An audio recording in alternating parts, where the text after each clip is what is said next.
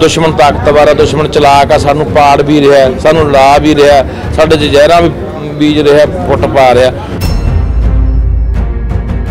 ਹੁਣ ਮੈਂ ਮੈਂ ਅਕਾਲੀਆਂ ਨੂੰ ਜਾਂ ਮੈਂ ਮੈਂ ਕਾਂਗਰਸੀਆਂ ਨੂੰ ਵੀ ਕਹਿਣਾ ਚਾਹੁੰਦਾ ਕਿ ਤੁਸੀਂ ਕਹਿੰਦੇ ਆ, ਅਸੀਂ ਅਸੀਂ ਸਾਨੂੰ ਪੰਜਾਬ ਦਾ ਦਰਦ ਹੈ, ਅਸੀਂ ਕਿਸਾਨੀ ਬਚਾਉਣੀ ਅਸੀਂ ਪੰਜਾਬ ਬਚਾਉਣਾ ਤੇ ਫਿਰ ਤੁਸੀਂ ਵੀ ਆਓ। ਤੁਸੀਂ ਆਪਣਾ ਝੰਡੇ 'ਚ ਡੰਡਾ ਪਾਈ ਫਿਰਦੇ ਹੋ, ਤੁਸੀਂ ਕਦੇ ਟਰੈਕਟਰ ਰੈਲੀ ਕਰਦੇ ਹੋ, ਕਦੇ ਟਰੈਕਟਰ ਫੂਕ ਦਿੰਦੇ ਹੋ, ਕਦੇ ਕੁਝ ਕਰਦੇ ਹੋ, ਇਹ ਤੁਹਾਡੇ ਲਈ, ਇਹ ਪੰਜਾਬ ਨਹੀਂ, ਤੁਸੀਂ ਵਿਚਾਰ ਰਹੇ ਯਾ ਮੈਂ ਕਿਹਾ, ਓਏ, ਇਹ ਖਾ ਗਏ, ਓਏ, ਪੰਜਾਬ ਇਹਨਾਂ ਨੇ ਮਾਰਤਾ ਪੰਜਾਬ, ਤੂੰ ਕਿਹੜੇ ਚੱਕਰਾਂ ਤੁਰਿਆ ਫਿਰਦਾ, ਇਹ ਪੰਜਾਬ ਬਚਾਉਣਾ ਜਿਹਨਾਂ ਤੂੰ ਤੁਰਿਆ ਫਿਰਦਾ। ਨਹੀਂ ਨਹੀਂ ਬਾਈ ਇੱਕ ਦੀ ਰੈਲੀ ਆ, ਤੇ ਮੈਂ ਉਹਦੇ 500 ਟਰੈਕਟਰ ਲੈ ਜਾਣਾ ਇਕੱਠਾ ਕਰਕੇ, ਮੈਂ ਹਜ਼ਾਰ ਲੈ ਜਾ। ਕੁਝ ਕਲਾਕਾਰ ਜਿਹੜੇ ਹੁੰਦੇ ਨੇ, ਉਹ ਕਿਤੇ ਨਾ ਕਿਤੇ ਇਹ ਚੀਜ਼ਾਂ ਸਹਿਣ ਨਹੀਂ ਕਰ ਪਾਉਂਦੇ। ਤੁਹਾਨੂੰ ਵੀ ਲੱਗਦਾ ਹੈ ਇਲਜ਼ਾਮਾਂ ਨੂੰ ਹੁਣ ਸੁਣਨਾ ਪਊਗਾ ਸਾਰੇ ਕਲਾਕਾਰ ਜਿਹੜੇ ਇਕੱਠੇ ਹੋ ਰਹੇ ਨੇ।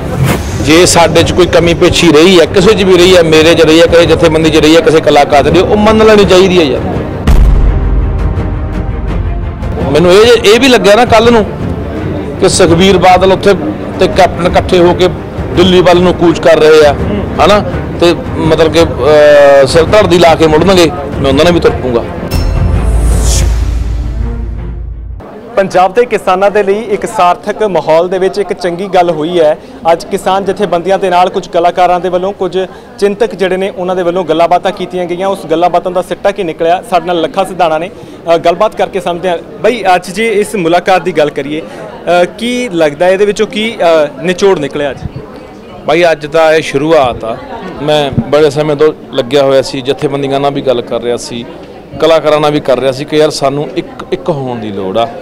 ਸੋ ਅੱਜ ਉਹਦਾ ਪਹਿਲਾ ਕਦਮ ਹਲੇ ਜਿਹੜਾ ਅਸੀਂ ਪੱਟਿਆ ਕਿ ਅੱਜ 31 ਦੀਆਂ 31 ਜਥੇਬੰਦੀਆਂ ਤੇ ਨਾਲ ਜਿਹੜਾ ਹੈਗਾ ਦੂਜੇ ਕਲਾਕਾਰ ਕਈ ਰਹਿ ਵੀ ਗਏ, ਕਈ ਆ ਗਏ, ਹਨਾ? ਤਾਂ ਉਹ ਸਾਰੇ ਅਸੀਂ ਇਕੱਠੇ ਇਕੱਠੇ ਹੋਏ ਆ ਤੇ ਮੈਂ ਤਾਂ ਵਾਰ-ਵਾਰ ਬੇਨਤੀ ਕਰਦਾ ਕਿ ਸਾਡੇ ਲਈ ਪਹਿਲ ਪੰਜਾਬ ਆ। ਸਾਡੀ ਧਰਤੀ ਆ। ਸਾਡੇ ਪਾਣੀ ਨੇ, ਸਾਡੀਆਂ ਬੋਲੀਆਂ ਨੇ, ਸਾਡੀਆਂ ਵਿਰਾਸਤਾਂ ਨੇ। ਦੂਜੀਆਂ ਗੱਲਾਂ ਸਾਡੇ 'ਚ ਲੱਖ ਮਤਭੇਦ ਨੇ, ਬਖਰੇਵੇਂ ਨੇ, ਜੋ ਮਰਜ਼ੀ ਆ, ਉਹ ਬਾਅਦ ਦੀਆਂ ਗੱਲਾਂ ਨੇ। ਉਹ ਅਸੀਂ ਕੋਈ ਗੱਲ ਨਹੀਂ, ਸਮਾਂ ਆਊਗਾ ਤਾਂ ਅਸੀਂ ਉਹ ਵੀ ਇੱਕ ਦੂਜੇ ਨਾਲ ਗਿਲੇ ਸ਼ਿਕਵੇ ਸਾਡੇ ਜਿਹੜੇ ਉਹ ਦੂਰ ਵੀ ਕਰ ਲਾਂਗੇ, ਆਪਣੇ ਮਤਭੇਦਾਂ ਨੂੰ ਅਸੀਂ ਇੱਕ ਦੂਜੇ ਤੇ ਗੁੱਸਾ ਵੀ ਜ਼ਾਹਰ ਕਰ ਲਾਂਗੇ, ਪਰ ਅੱਜ ਅੱਜ ਲੋੜ ਸਾਨੂੰ ਪੰਜਾਬ ਨੂੰ ਇਕੱਠੇ ਹੋ ਕੇ ਬਚਾਉਣ ਦੀ ਹੈ।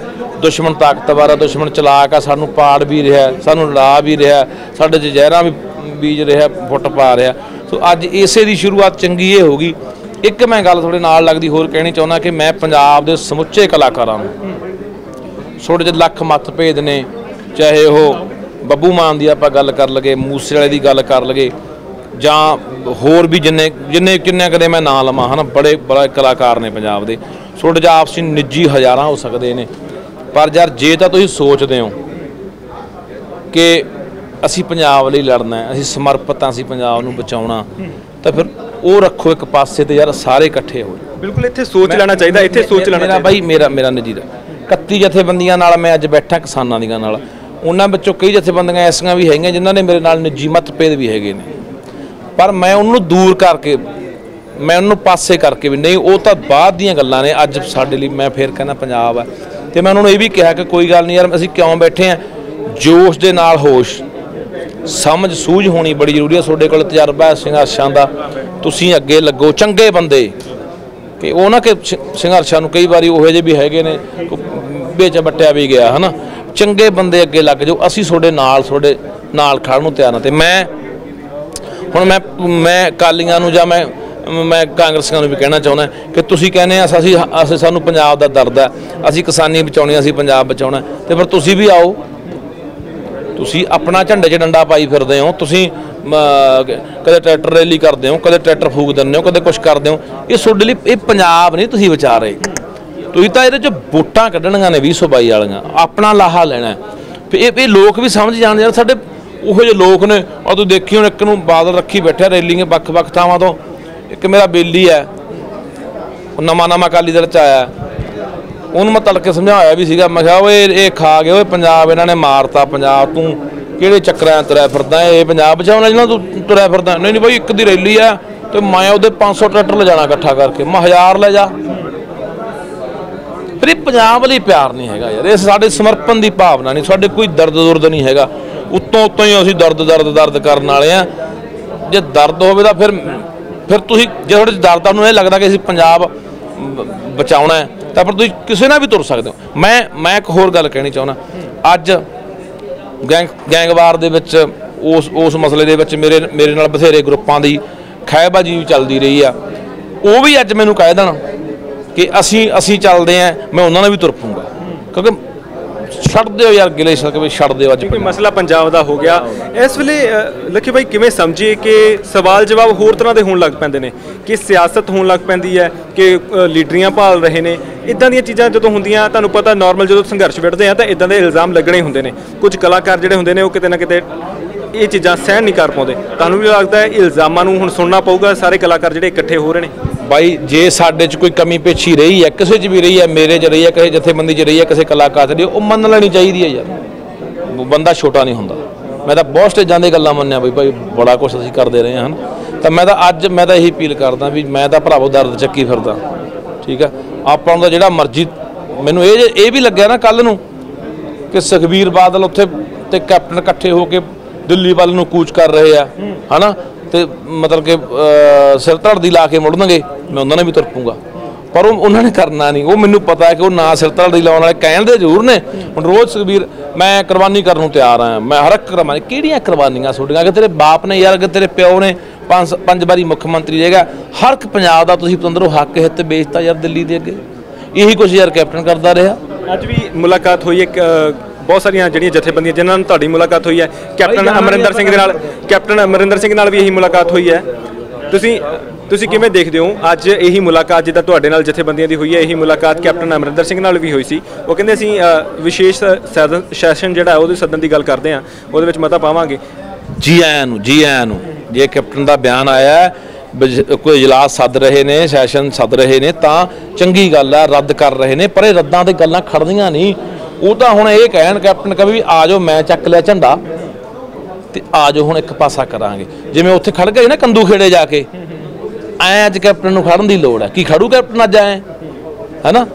ਤਾਂ ਚਲੋ, ਠੀਕ ਆ ਹਾਲਾਤ ਹੁੰਦੇ ਨੇ ਬੰਦੇ ਦੇ ਕਦੇ ਕਹੇ ਜੇ, ਕਦੇ ਕਹੇ ਜੇ, ਪਰ ਮੈਂ ਕੈਪਟਨ ਵਰਗਾ ਨੂੰ ਵੀ ਕਹਿਣਾ ਚਾਹੁੰਦਾ ਕਿ ਇਹ ਬਾਦਲਾਂ ਨੂੰ ਵੀ ਕਹਿਣਾ ਚਾਹੁੰਦਾ, ਬੜਾ ਕੁਝ ਤੁਹਾਨੂੰ ਪੰਜਾਬ ਨੇ ਦਿੱਤਾ, ਬੜੀਆਂ ਸਰਦਾਰੀਆਂ, ਬੜੀਆਂ ਟੌਰਾਂ, ਬੜਾ ਪੈਸਾ ਤੁਸੀਂ ਸਭ ਕੁਝ ਲਿਆ ਇਸ ਪੰਜਾਬ ਤੋਂ। ਅੱਜ ਤਾਂ ਆ ਜਾਓ ਯਾਰ। ਅੱਜ ਤਾਂ ਹੁਣ ਤੁਹਾਨੂੰ ਲੋਕ ਨਕਾਰੀ ਖੜੇ ਆ। ਅੱਜ ਕੱਲ ਅਸੀਂ ਬਟਾਲੇ ਸੀ ਬਾਈ, ਇਕੱਠ ਸੀ ਉੱਥੇ, ਇਹੀ ਇਹੀ ਸੰਬੰਧ ਚ। ਨੌਜਵਾਨੀ ਆਪ ਮਹਾਰੇ ਸੜਕਾਂ ਤੇ ਆਈ ਆ। ਉਹਨਾਂ ਜੋ ਉਹ ਸੀ, ਜਿਨ੍ਹਾਂ ਨਾਲ ਮੈਂ ਮੁੰਡਿਆਂ ਨਾਲ ਗੱਲ ਕੀਤੀ ਵੀ ਤੇਰਾ ਬਾਪੂ ਕਿੱਧਰ ਹੈ ਬਾਈ, ਕਾਲੀਆਂ ਨਾਲ ਹੈ। ਤੇਰਾ ਬਾਪੂ ਬਾਈ, ਕਾਂਗਰਸੀਆਂ ਨਾਲ ਹੈ। ਪਰ ਉਹ ਲੋਕ ਇਹਨਾਂ ਤੋਂ ਅੱਕ ਗਏ। ਕਿਉਂਕਿ ਇਹਨਾਂ ਨੇ ਦਿੱਤੇ ਕੋਈ, ਲੋਕ ਅੱਜ ਨੌਜਵਾਨ ਅਗਵਾਈ ਭਾਲ ਰਹੇ ਨੇ। ਨੌਜਵਾਨ ਇੱਕ ਇਮਾਨਦਾਰ, ਚੰਗੀ ਛਵੀ ਵਾਲੇ ਬੰਦੇ ਭਾਲ ਰਹੇ ਨੇ, ਜਿਹਦੇ ਮਗਰ ਲਾ ਕੇ ਅੱਖਾਂ ਮੀਚ ਕੇ ਭਰੋਸਾ ਕਰ ਲੈਣ। ਪਰ ਸਾਡਾ ਭਰੋਸਾ ਬਾਰ-ਬਾਰ ਟੁੱਟਦਾ ਆਇਆ। ਬਾਰ-ਬਾਰ ਸਾਡੇ ਨਾਲ ਵਿਸ਼ਵਾਸਘਾਤ ਹੁੰਦੇ ਆਏ ਬਾਰ-ਬਾਰ ਸਾਡੀਆਂ ਪਿੱਠਾਂ ਛੁਰੇ ਵੱਜਦੇ ਰਹੇ। ਸਾਨੂੰ ਲੋਕਾਂ ਨੇ ਬੰਦਿਆਂ ਨੇ ਗੱਲਾਂ ਇਹੀ ਕੀਤੀਆਂ ਪਰ ਸਾਨੂੰ ਵੀ ਕਿਤੇ ਨਾ ਕਿਤੇ ਲਿਜਾ ਕੇ ਸਾਡੇ ਲੋਕਾਂ ਨੂੰ ਵੇਚਿਆ ਪੰਜਾਬ ਨੂੰ ਵੇਚਿਆ ਉਹਨਾਂ ਨੇ ਜਾ ਕੇ। ਇਸੇ ਕਰਕੇ ਸਾਡੀ ਨੌਜਵਾਨੀ ਆ ਜਾਂ ਸਾਡੇ ਲੋਕ ਨੇ ਛੇਤੀ ਕਿਤੇ ਭਰੋਸਾ ਨਹੀਂ ਕਰ ਰਹੇ। ਦੇਖੀ ਭਾਈ ਲੱਗਣ ਲੱਗ ਪਿਆ ਇਹ ਸਮਝਣ ਦੇਖ ਰਿਹਾ ਇਸ ਵੇਲੇ ਕਿ ਕਿਤੇ ਨਾ ਕਿਤੇ ਇਸ ਸੰਘਰਸ਼ ਨੂੰ ਤਾਰਪਿੜੋ ਕਰਨ ਦੀ ਵੀ ਕੋਸ਼ਿਸ਼ ਹੋ ਰਹੀ ਹੈ ਇਸ ਵੇਲੇ। ਬਿਲਕੁਲ।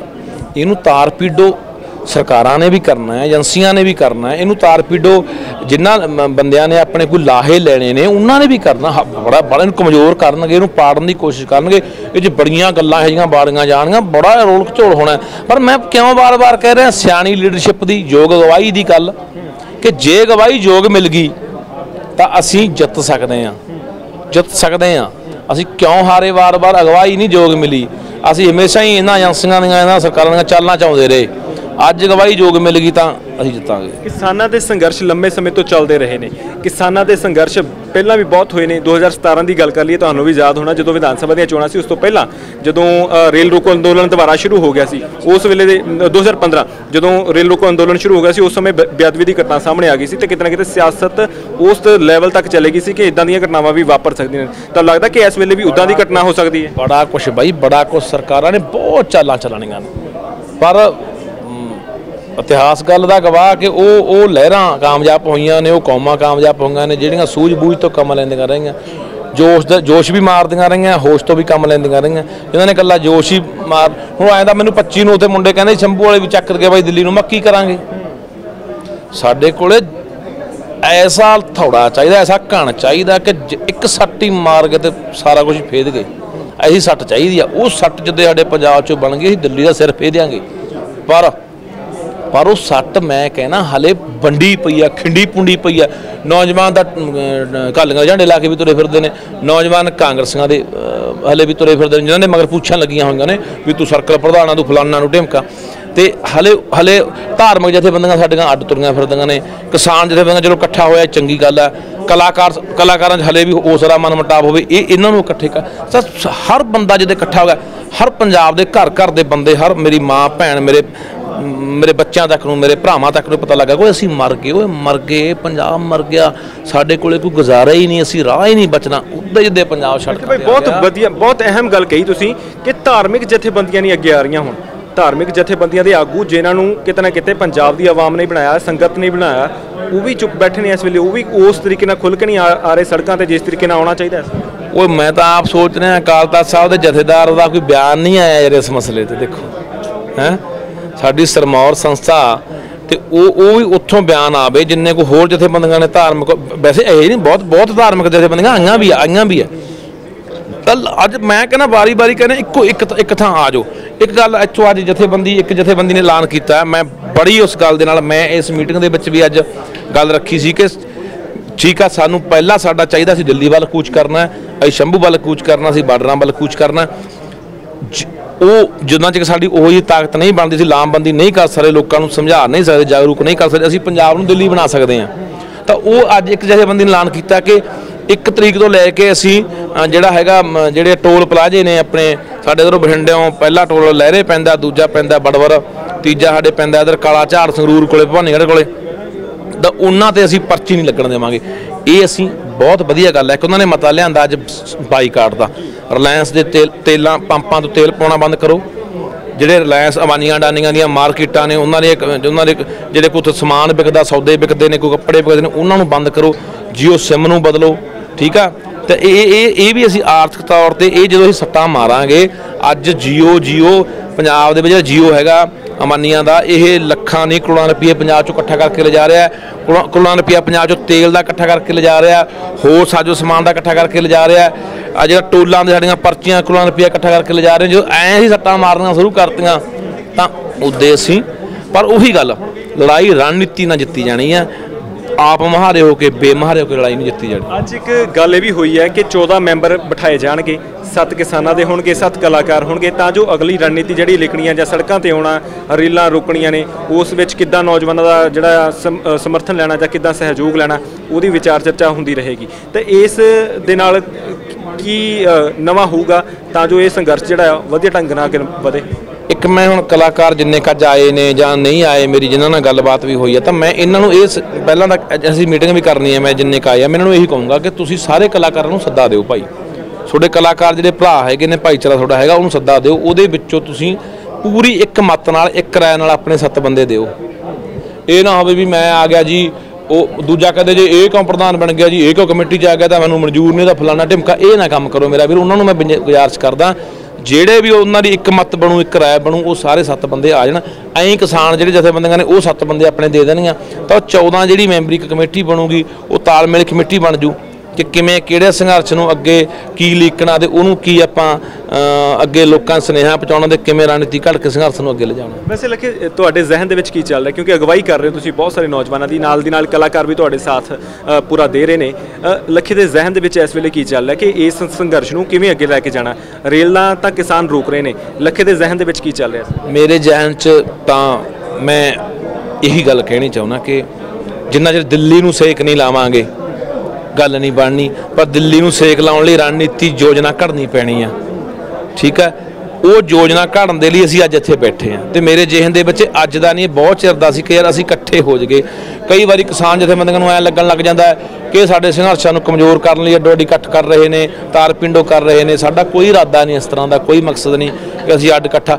ਅੱਜ ਦਾ ਕਹਿੰਦਾ ਕਿਸਾਨਾਂ ਦੇ ਝੰਡੇ ਹੇਠ ਅਸੀਂ ਤੁਰ- ਤੁਰਨ ਨੂੰ ਤਿਆਰ ਹਾਂ ਮੈਂ ਤਾਂ ਅੱਜ ਇਹ ਵੀ ਬੋਲਤਾ ਸੀ ਮੀਟਿੰਗ 'ਚ ਮੈਂ ਕਿਹਾ ਤੁਸੀਂ ਸਾਨੂੰ ਸਟੇਜ ਤੇ ਚੜ੍ਹਨ ਦੇਵੋ, ਨਾ ਦੇਵੋ।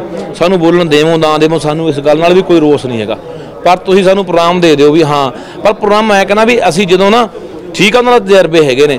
ਪਰ ਹੌਲੀ ਹੌਲੀ ਤਿੱਖਾ ਵੀ ਮੈਂ, ਮੇਰਾ ਜਿਹਨ ਮੇਰਾ ਦਿਮਾਗ ਜਾਂ ਜਿਹਨ ਰੱਖ ਲਓ, ਤਿੱਖਾ ਵੀ ਲੋੜ ਹੁੰਦੀ ਹੈ ਕਿਉਂਕਿ ਅਸੀਂ ਜਦੋਂ ਥੋੜੀ ਸੱਟ ਮਾਰਦੇ ਆ ਨਾ, ਅਗਲੇ ਨੂੰ ਸੱਟ ਮਾਰਦੇ ਆ, ਤਿੱਖੇ ਰੂਪ ਸੱਟ ਮਾਰਦੇ ਆ, ਤਾਂ ਥੋੜਾ ਜਿਹਾ ਫਿਰ ਸਰਕਾਰਾਂ ਵੀ ਸੋਚਣ ਲਈ ਮਜਬੂਰ ਹੁੰਦੀਆਂ ਨੇ ਕਿ ਇਹਦੇ ਮਸਲਾ ਇਹ ਇਹ ਐ ਨਹੀਂ ਲੋਟ ਆਉਣ ਵਾਲਾ ਜਿਵੇਂ ਅਸੀਂ ਸਮਝਦੇ ਆ ਤੇ ਇਹਨੂੰ ਹੋਰ ਤਰੀਕੇ ਨਾਲ ਵੀ ਦੇਖਣਾ ਪੈਣਾ। ਯਾਨੀ ਕਿ ਪੈਸਿਵ ਤੇ ਐਕਟਿਵ ਸੰਘਰਸ਼ ਦੇ ਵਿੱਚ ਹੌਲੀ ਹੌਲੀ ਪੈਸਿਵ ਤੋਂ ਐਕਟਿਵ ਵੱਲ ਜਾਣਾ ਪੈਣਾ ਤਾਂ ਹੀ ਸ- ਅ, ਸਰਕਾਰ ਨੂੰ ਪਤਾ ਲੱਗੂਗਾ ਵੀ ਹਾਂ ਪੰਜਾਬ ਹੁਣ ਥੰਮਣ ਵਾਲਾ ਨਹੀਂ ਹੈਗਾ ਇਹ ਸੰਘਰਸ਼ ਤੇ ਸਰਕਾਰ ਨੂੰ ਜਿਹੜੀ ਗੱਲ ਹੈ ਉਹ ਮੰਨਣੀ ਪਊਗੀ ਉਹੀ ਆ ਜਿਵੇਂ ਹੁਣ ਆਪਾਂ ਗੱਲ ਕਰਦੇ ਆ ਵੀ ਜੇ ਆਪਾਂ ਇਕੱਲਾ ਹੀ ਥੋੜਾ ਜਿਹਾ ਉਹ ਸ਼ਾਂਤਮਈ ਜਾਂ ਉਵੇਂ ਉਵੇਂ ਜੇ ਉਵੇਂ ਜੇ ਮੇਰੇ ਮੇਰੇ- ਮੈਂ ਮੈਂ ਉਹਨੂੰ ਘੱਟ ਤਰਜੀਹ ਦਿੰਦਾ।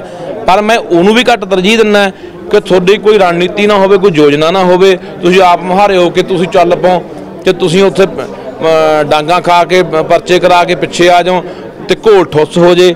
ਕਿਉਂਕਿ ਮੈਂ ਚਾਹੁੰਦਾ ਕਿ ਸਾਡੇ ਲਈ ਅਹਿਮ ਇਹ ਨਹੀਂ ਗੱਲ ਹੈਗੀ ਕਿ ਅਸੀਂ ਗਰਮ ਕਰੀਏ ਕਿ ਅਸੀਂ ਠੰਡਾ ਕਰੀਏ ਕਿ ਅਸੀਂ ਤੇਜ਼ ਕਰੀਏ ਕਿਵੇਂ ਕਰੀਏ। ਸਾਡੇ ਲਈ ਅਹਿਮ ਹੈ ਕਿ ਸੰਘਰਸ਼ ਜਿੱਤਣਾ ਕਿਵੇਂ ਆ ਸਾਡਾ ਸਾਡੀ ਟੇਕ ਸਾਡਾ ਨਿਸ਼ਾਨਾ ਜਿੱਤ ਹੋਣਾ ਚਾਹੀਦਾ। ਉਹ ਜਿੱਤ ਲਈ ਅਸੀਂ ਤਿੱਖਾ ਕਰਨਾ ਪਿਆ ਤਿੱਖਾ ਵੀ ਕਰਗੇ। ਉਹਨੂੰ ਕਿਤੇ ਸਾਨੂੰ ਹੋਰ ਰੂਪ ਦੇਣਾ ਪਿਆ, ਹੋ- ਉਹ ਵੀ ਰੂਪ ਦੇਗੇ। ਪਰ ਅਸੀਂ ਕਿਵੇਂ ਨਾ ਕਿਵੇਂ ਅੱਜ ਪੰਜਾਬ, ਕਿਉਂਕਿ ਸਾਡੀ ਅੱਗੇ ਜ਼ਿੰਦਗੀ ਪਿੱਛੇ ਭਰਾਵਾ ਮੌਤ ਆ ਜ਼ਿੰਦਗੀ ਵੱਲ ਵਧਣ ਲਈ ਸਾਨੂੰ ਇਹ ਕੁਛ ਨਾ ਕੁਛ ਜੋ ਮਰਜ਼ੀ ਕਰਨਾ ਪਵੇ ਉਹ ਕਰਨ ਦੀ ਲੋੜ ਆ। ਆਖਰੀ ਸਵਾਲ ਤੁਹਾਨੂੰ ਕਿ ਇਸ ਵੇਲੇ ਜਿਹੜੇ ਹਾਲਾਤ ਬਣਦੇ ਜਾ ਰਹੇ ਨੇ ਆਪਾਂ ਸੜਕਾਂ ਰੋਕਣ ਦੀ ਰੇਲਾਂ ਰੋਕਣ ਦੀ ਗੱਲ ਕਰ ਰਹੇ ਹਾਂ ਸ਼ੰਭੂ ਬਾਰਡਰ ਤੇ ਜਾਣ ਦੀ ਗੱਲ ਕਰ ਰਹੇ ਹਾਂ ਦਿੱਲੀ ਵਾਲਾ ਕੂਚ ਕਰਨ ਦੀ ਗੱਲ ਕਰ ਰਹੇ ਹਾਂ ਕੀ ਪੰਜਾਬ ਦੇ ਵਿੱਚ ਜਿਹੜੇ ਬੀਜੇਪੀ ਦੇ ਆਗੂ ਨੇ ਉਹਨਾਂ ਦੇ ਘਰਾਂ ਦੇ ਘਰਾਓ ਕਰਨ ਦੀ ਵੀ ਰਣਨੀਤੀ ਹੈ ਜਾਂ ਐਮਪੀਆਂ ਦੇ ਘਰਾਓ ਕਰਨ ਦੀ ਵੀ ਰਣਨੀਤੀ ਹੈ ਕਿ ਉਹ ਜਾ ਕੇ ਆਪਣੀ ਆਵਾਜ਼ ਉੱਥੇ ਹਾਂ ਪਹੁੰਚਾਉਣ ਹਾਂ ਅੱਜ ਇਹ ਵੀ ਇੱਕ ਜਥੇਬੰਦੀਆਂ ਵੱਲੋਂ ਰੱਖਿਆ ਗਿਆ ਇੱਥੇ ਕਿ ਜਿੰਨੇ ਬੀਜੇਪੀ ਦੇ ਇੱਥੇ ਕੋਈ ਹੈਗੇ ਨੇ ਕੋਈ ਆਗੂ ਨੇ ਕੋਈ ਹੋਰ ਨੇ ਉਹਨਾਂ ਦਾ ਘਰਾਓ ਉਹਨਾਂ ਦੀ ਘੇਰਾਬੰਦੀ ਉਹਨਾਂ ਦਾ ਵਿਰੋਧ ਇਹ ਵੀ ਮਤਲਬ ਕਿ ਇੱਥੇ ਇੱਕ ਇਹ ਜਥੇਬੰਦੀਆਂ ਵੱਲੋਂ ਰੱਖਿਆ ਗਿਆ ਸੀ ਉਹਦੇ ਨਾਲ ਵੀ ਸਹਿਮਤ ਹਾਂ। ਤਾਂ ਅਸੀਂ ਇਹ ਗੱਲ ਕਹਿੰਦੇ ਆ ਕਿ ਸਾਨੂੰ ਸਹਿਮਤੀ ਬਣਾਏ ਬਿਨਾਂ ਗੱਲ ਨਹੀਂ ਬਣਨੀ। ਸਹਿਮਤੀ ਬਣੂਗੀ ਤਾਂ ਗੱਲ ਬਣਨੀ। ਅਖੀਰ ਤੇ ਨੌਜਵਾਨਾਂ ਨੂੰ ਕੀ ਸੁਨੇਹਾ ਦੇਣਾ ਚਾਹੋਗੇ? ਕਿਉਂਕਿ ਹਾਲੇ ਵੀ ਬਹੁਤ ਸਾਰਾ ਪੰਜਾਬ ਦਾ ਨੌਜਵਾਨ ਘਰਾਂ ਦੇ ਵਿੱਚ ਹੀ ਹੈ। ਹਾਲੇ ਬਾਹਰ ਨਹੀਂ ਨਿਕਲਿਆ। ਬਾਹਰ ਨਿਕਲਿਆ ਉਹ ਸਾਥ ਦੇ ਦਿਓ। ਉਹ ਪ੍ਰਮਾਤਮਾ ਨੂੰ ਹਾਜ਼ਰ ਨਾਜ਼ਰ ਜਾਣ ਕੇ ਕਹਿੰਦੇ ਆ ਨਾ ਝੁਕਾਂਗੇ ਨਾ ਵਿਕਾਂਗੇ। ਜਿੱਤ ਲਾਂ- ਜਿੱਤ ਲਾਂਗੇ ਜਿੱਤ ਲਾਂਗੇ। ਸੋਡੇ ਸਹਿਯੋਗ ਦੀ ਲੋੜ ਹੈ। ਅਸੀਂ ਸੋ- ਤੁਹਾਡੇ ਚੋਂ ਤੁਸੀਂ ਸਾਡੇ ਚੋਂ, ਅਸੀਂ ਕੋਈ ਆਗੂ ਨਹੀਂ ਹੈਗੇ, ਕੋਈ ਗਵਾਹੀ ਕਰਨ ਵਾਲੇ ਨਹੀਂ ਹੈਗੇ। ਪਰ ਸਾਨੂੰ ਹੌਸਲਾ ਮਿਲਦਾ ਜਿੱਥੇ ਨੌਜਵਾਨ ਚਾਰ ਨਾਲ ਖੜਦੇ ਨੇ। ਨੌਜਵਾਨ ਆ ਕੇ ਇਹ ਕਹਿੰਦੇ, ਹਾਂ ਕਿ ਬਾਈ ਤੁਹਾਡੇ ਨਾਲ ਆ, ਪਰ ਸਾਡੀ ਗੱਲ ਦੇ ਉੱਤੇ ਮੈਂ ਕਹਿੰਦਾ ਵੀ ਮੈਂ ਬਾਰ-ਬਾਰ ਇਹ ਗੱਲ ਤੇ ਕਿਉਂ ਜੋੜਦੇ ਰਿਹਾ ਕਿ ਬੇਮਹਾਰੀ ਜਿਹੜੀ ਲੜਾਈ ਹੁੰਦੀ ਆ, ਆਪ ਮਹਾਰੀ ਦੀ ਲੜਾਈ ਹੁੰਦੀ ਹੈ ਬਿਨਾਂ ਅਗਵਾਈ ਤੋਂ ਲੜਾਈ ਹੁੰਦੀ ਹੈ ਉਹ ਲੜਾਈ ਜਿੱਤੀ ਨਹੀਂ ਜਾਂਦੀ। ਮੈਂ ਹਿਸਟਰੀ ਦਾ ਵਿਦਿਆਰਥੀ ਰਿਹਾ, ਮੈਂ ਹਿਸਟਰੀ ਵੀ ਪੜ੍ਹੀ ਹੈ। ਮੈਂ ਉਹਨਾਂ ਦੁਨੀਆ ਭਰ ਦੇ ਸੰਘਰਸ਼ਾਂ ਬਾਰੇ, ਘੋਲਾਂ ਬਾਰੇ ਪੜ੍ਹਿਆ ਕਿ ਕਿਵੇਂ ਕਿਹੜੀਆਂ ਕੌਮਾਂ ਨੇ ਜਿੱਤ ਕੇ ਫਤਿਹ ਕੀਤੀ, ਸੰਘਰਸ਼ ਕਾਮਯਾਬ ਕੀਤੇ। ਤਾਂ ਮੈਂ ਇਸ ਗੱਲ ਤੇ ਜ਼ੋਰ ਦਿੰਦਾ। ਮੈਂ ਵੀ ਪਹਿਲਾਂ ਬੜਾ ਗਰਮ ਹੁੰਦਾ ਵੀ ਚੱਕ ਲੋ ਧਰ ਲੋਲਾ ਹੁੰਦਾ ਸੀ। ਸਾਡੀ ਜ਼ਿੰਦਗੀ ਕਿਤਾਬਾਂ ਨੇ ਬਦਲੀ। ਹਾਂ ਮੈਂ ਮੈਂ ਵੀ ਐਂ ਦੇਖਦਾ ਸੀ ਉਹ ਚੱਕ ਲਓ ਐਂ ਕਰ ਰਹੇ ਆ ਕਰ ਰਹੇ ਆ ਹਨਾ। ਮੇਰੇ ਵੀ ਕਈ ਵਾਰੀ ਇੱਥੇ ਵਿਛਾੜਾਂ ਵੱਜੀਆਂ ਤੁਸੀਂ ਵੀ ਦੇਖਦੇ ਰਹੇ ਹੋ ਡਾਂਗਾਂ ਹੀ ਵੱਜੀਆਂ ਪਰਚੇ ਹੀ ਪਵਾਏ।